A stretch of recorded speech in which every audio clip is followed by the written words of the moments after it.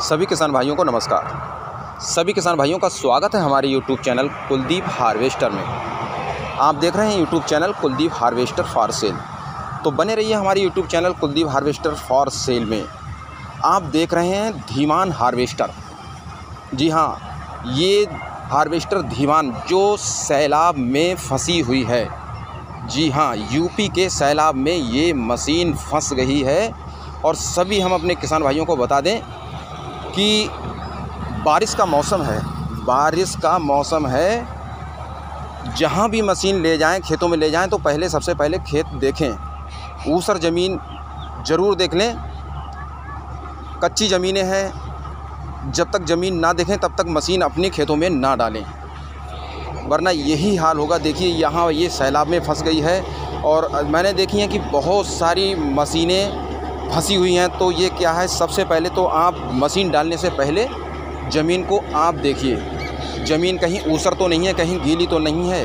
Four by four हो या फिर मशीन सादा। दोनों ही मशीनों के लिए कच्ची ज़मीन घातक है। तो सभी मशीन वाले भाइयों से मेरा कहना है कि खेत काटने से पहले ज़मीन को चेक कर लें। अच्छी तरीक़ा से चेक कर लें कि ज़मीन मशीन के लायक है या नहीं? बगैर देखे ज़मीन पर मशीन ना उतारें। जी हाँ बगैर देखे खेत में मशीन ऐसे ना उतारें ताकि हमारी मशीन फंसे। और आप देख रहे हैं, ये यूपी के सैलाब में मशीन फंस गई है और इसको ट्रैक्टर के ज़रिए इसको निकाला जा रहा है। कमर कमर पानी है। कितनी मुश्किल से ये मशीन ट्रैक्टर से खींच के निकाली जा रही है। तो सभी किसान भाइयों से अनुरोध है कि ऐसी नौबत बिल्कुल भी ना आने दें। जी हाँ। पहले खेत देखें, खेत देखकर ही मशीन खेत में डालें। कच्ची ज़मीनें हैं, बारिश से मिट्टी बिल्कुल एकदम मुलायम हो गई है।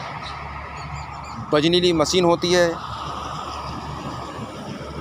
और इशारे में फंस जाती है तो बिल्कुल भी जब तक ज़मीन को चेक ना करें, तब तक मशीन बिल्कुल भी ना डालें। जी हाँ मशीन, ज़मीन को देखकर ही मशीन खेत में डालें। आप देख रहे हैं धीमान हार्वेस्टर जो यूपी के सैलाब में फंसी हुई है। इसको ट्रैक्टर की मदद से निकाला जा रहा है। और ये धीमान हार्वेस्टर 2000 चौदह मॉडल। जी हाँ 2014 मॉडल ये मशीन है और ये मशीन बिकाऊ है। जी हाँ ये मशीन बिकाऊ है जिसकी कीमत है मात्र नौ लाख रुपए।